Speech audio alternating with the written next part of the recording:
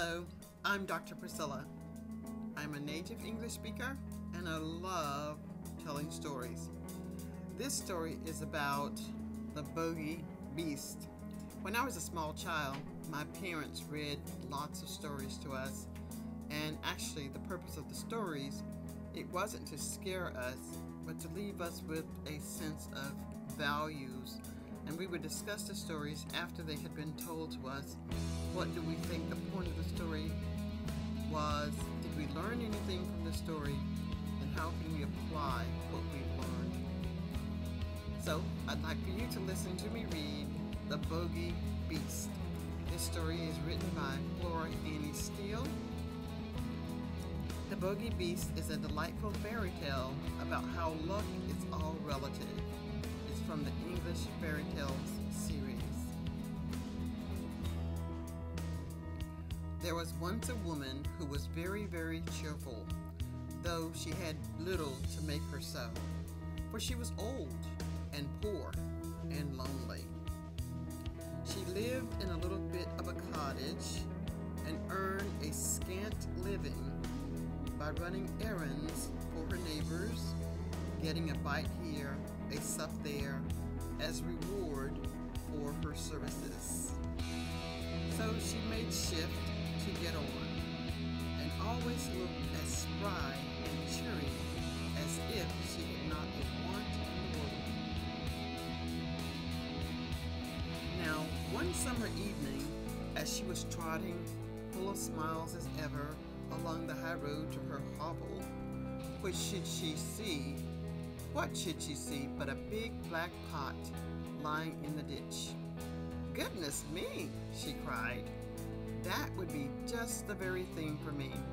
If only I had something to put in it. But I haven't. Now, who could have left it in the ditch? And she looked about her expecting the owner would not be far off. But she could see nobody. Maybe there is a hole in it, she went on, and that's why it has been cast away.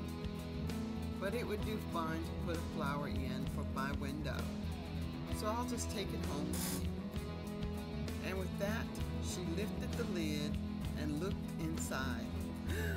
Mercy me, she cried fair amazed. If it isn't full of gold pieces, here's luck. And so it was, brimful of great gold coins. Well, at first, she simply stood stock still, wondering if she was standing on her head or her heels. Then she began saying, Lux, but I do feel rich. I feel awful rich.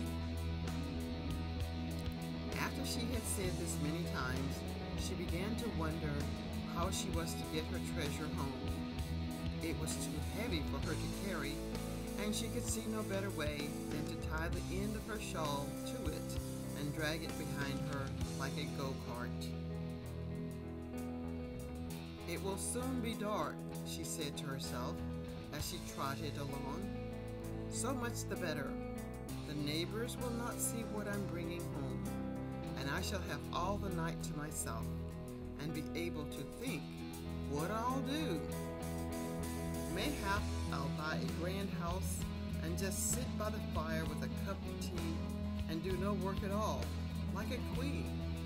Or maybe I will bury it at the garden foot and just keep a bit in the old china teapot on the chimney piece.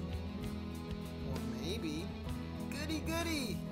I feel that grand, I don't know myself.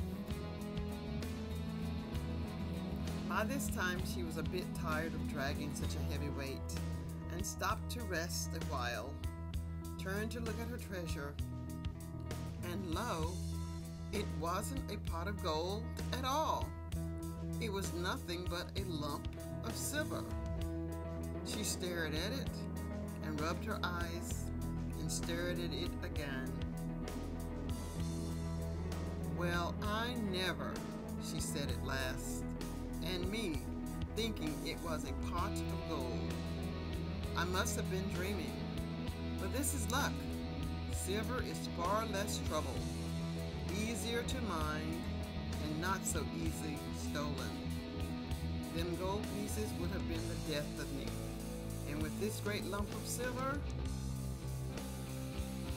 so she went off again, planning what she would do, and feeling as rich as rich, until becoming a bit tired again, she stopped to rest and gave a look around to see if her treasure was safe. And she saw nothing but a great lump of iron. Well, I never, says she again. Am I mistaking it for silver? I must have been dreaming. But this is luck. It's real convenient. I can get penny pieces for old iron, and penny pieces are a deal handier for me than your gold and silver. Why, I should never have slept a wink for fear of being robbed, but a penny piece comes in useful. And I shall sell that iron for a lot and be real rich, rolling rich. So on she trotted, full of plans as to how she would spend her penny pieces. Once more she stopped to rest and looked around to see her treasure was safe. And this time she saw nothing but a big stone. Well, I never, she cried, full of smiles. And to think I mistook it for iron. I must have been dreaming. But here's luck indeed and me wanting a stone terribly bad to stick open the gate. Eh, my. But it's a change for the better. It's a fine thing to have good luck. So all in a hurry to see how the stone would keep the gate open, she trotted off down the hill till she came to her own cottage. She unlatched the gate and then turned to unfasten her shawl from the stone which lay on the path behind her. Aye, it was a stone, sure enough. There was plenty light to see it lying there, loose and peaceable as a stone. So she bent over to and unfasten the shawl in when, oh my! All of a sudden, it gave a jump, a squeal, and in one moment was as big as a haystack. Then it let down four great lanky legs and threw out two long ears nourished a great long tail and romped kicking and squealing and whinnying and laughing like a naughty, mischievous boy. The old woman stared after it till it was fairly out of sight. Then she burst out laughing too. Well, she chuckled, I am in luck. Quite the luckiest body hereabouts fancy my seeing the boogie beast all to myself and making myself so free with it too. My goodness, I do feel that uplifted, that grand. So she went into her cottage and spent the evening chuckling over her good luck. Thank you for listening. I'd love to hear your thoughts about the story. Please post your thoughts in the chat comments below.